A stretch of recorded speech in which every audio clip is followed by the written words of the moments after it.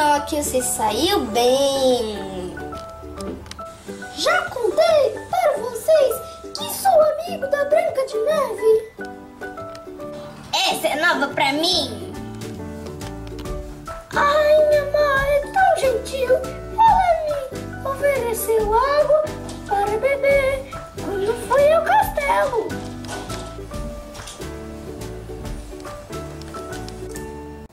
E você bebeu?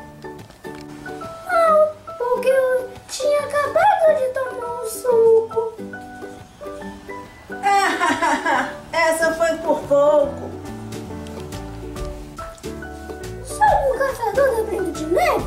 É tão preocupado. Perguntou se meu coração estava saudável. E você disse o quê? A verdade, falei que meu coração é de boneco. que esperto. Eu vi a rainha má perguntando ao espelho quem era mais bela. Aí eu falei, rainha má, com tanta coisa para se fazer no castelo,